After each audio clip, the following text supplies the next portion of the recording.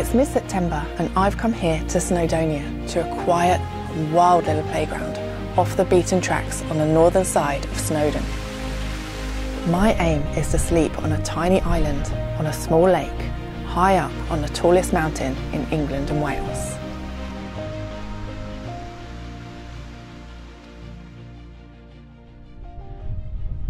Hi you guys, I'm here in Snowdonia. I've parked right down there in the Llanberis Pass and I'm making my Cwm Glas Mawr up to a lake right up there. It's a bit windy and crazy today. It's gonna be good fun. So I think I've done the easy bit coming up here already and looking up there. Looks like it's gonna get a bit steep now, but we'll see how we go. Uh, this lake is quite high up, up at 650 meters and there is an island on the middle of it which I'm really excited about and I'm hoping that I'll be able to make it onto the little island and camp for the night. It looks from the pictures like there's some rocks I'll be able to sort of climb across and make it onto the island but I don't know, I've never been here before and I'm quite excited. I think we've got a few hours it gets dark so I'm going to push on see a bit further up.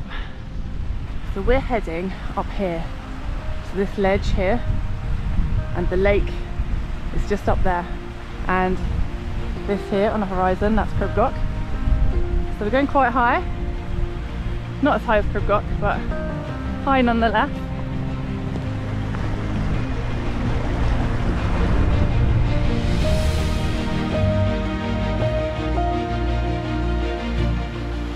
up at 420 meters at the moment so 230 to go.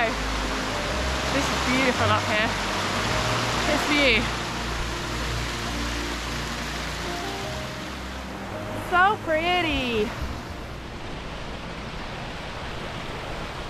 This is a bit scree now and a bit scrambly. We're heading up there. getting higher. We are up at 550 meters now, so 100 to go, and we should be up at the lake. Um, this is pretty hard going. It's uh, fairly steep and uh, quite interesting terrain. It's good fun, but gotta be paying attention on it. Let's go this way. And the views up here are amazing. Pretty gorgeous, so it's going to be incredible up there. There's lovely waterfall here as well.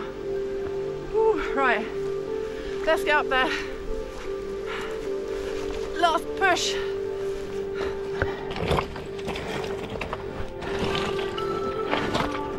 Oh, I hate screwy stuff. I don't like it.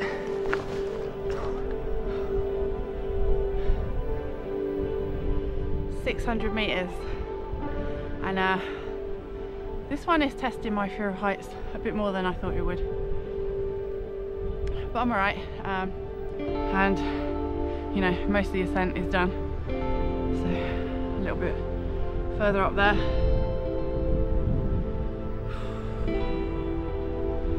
Yeah, doing good.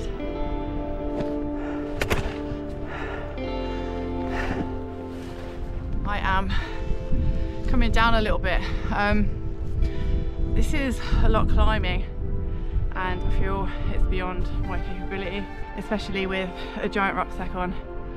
Um, and it's not just getting up it, it's a case of can I down climb this safely again if I need to in really bad weather in low visibility and I don't want to so I'm coming down and I'm gonna head that way a little bit and see if there's an easier route up um, yeah it's just not worth risking it right let's have a look this up here looks more reasonable I think one way to find out I think I've nearly done it. And this lake is just behind this rise here. Let's have a look.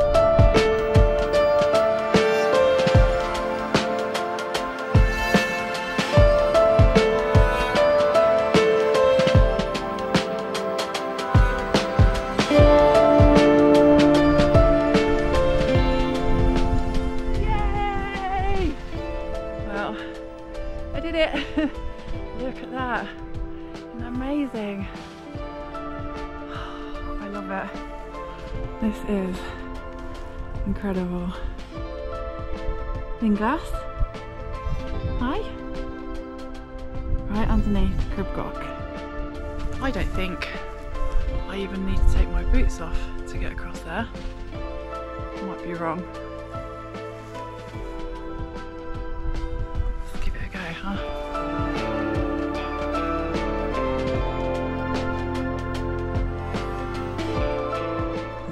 One complete.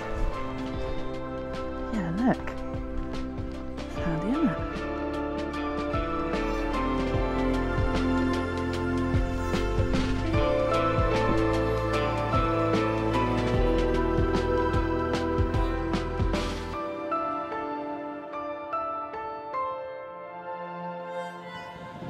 Well, here I am on this tiny, beautiful little island, and I cannot believe my luck with this. There is no one here.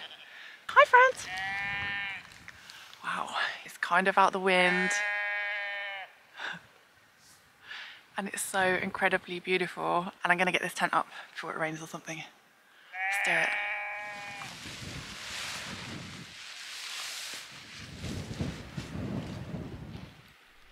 Let's see what the water's like.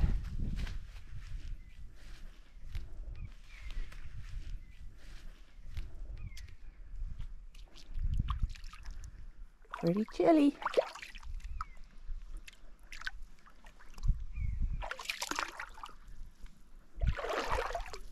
Ah! Oh, you're thinking it.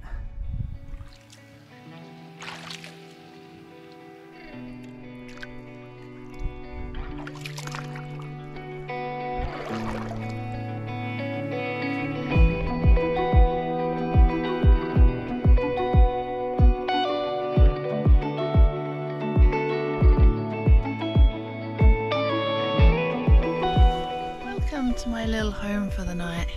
Look at this view, just amazing. Right, I'm gonna get unpacked and get all cozy warm and then we'll get some dinner on. It's pretty chilly tonight.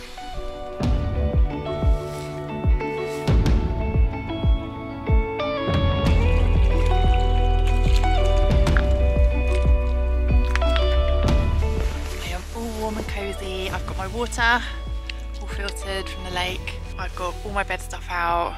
I've got nice dry tootsies, all talcum powders, and with my lovely little down booties on. So yeah, I'm all sorted for the night. It is a bit chilly. It's eight degrees currently. It's coming up to eight o'clock, so it's gonna get dark soon. Little lake critter. Wonder what he is. Hi, lake dude. Aww. And getting up here today is pretty straightforward, sort of just following the river up really. It's a lot of scrambling.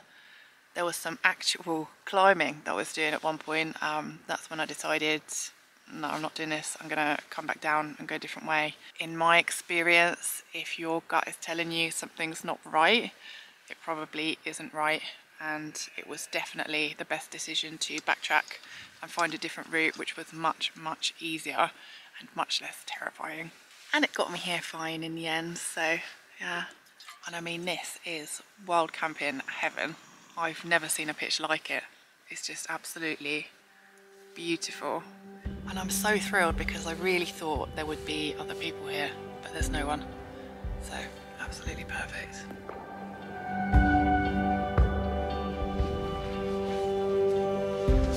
I've got my bedtime drinky on the go.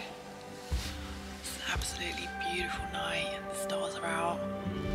It's cloudy, but every now and again you get a clearing and you can see the Milky Way stretching above. And it's so bright tonight. It's absolutely stunning. Tonight feels a little bit like a fairy tale.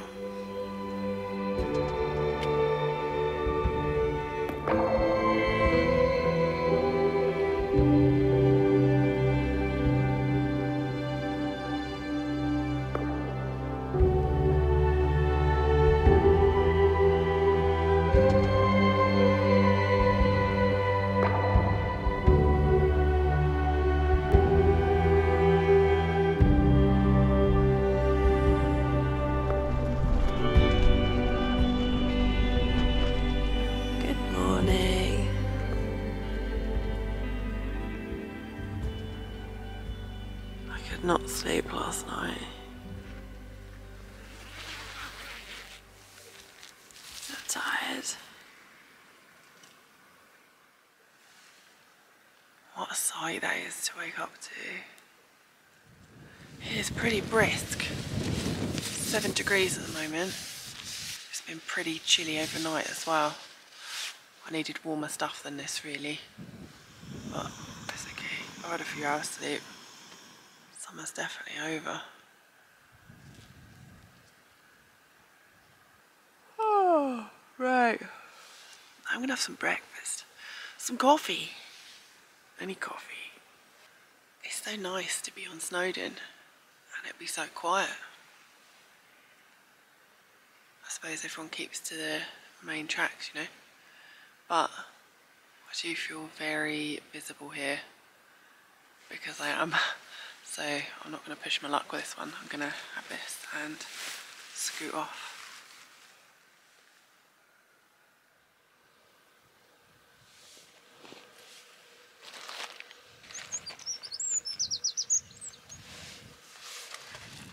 Oh, mountain goat, look.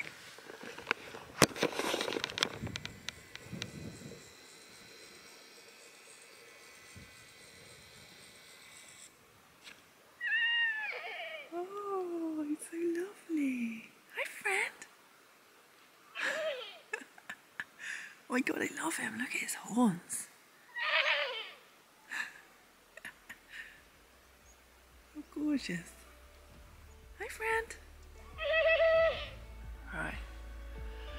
Let's get down. Thank you for having me, little island. Hi. So, there are a few reasons not to try this trip. Not knowing if I could actually get up there, or the possibility that someone else might already be there, being away from the main paths, and of course, that ever present fear of the unknown. I guess all it takes sometimes is to be the person who says, you know what, I'm going to do it anyway. I'm at least going to try. Oh, look at that. Now, I'm not suggesting that things always go to plan because they don't, and I'm definitely not suggesting that dragging so much camping and filming gear up to a place like this is easy because it really isn't. So, for me, it comes down to one simple question How do I want to live my life? And as it turns out, it's pretty much like this.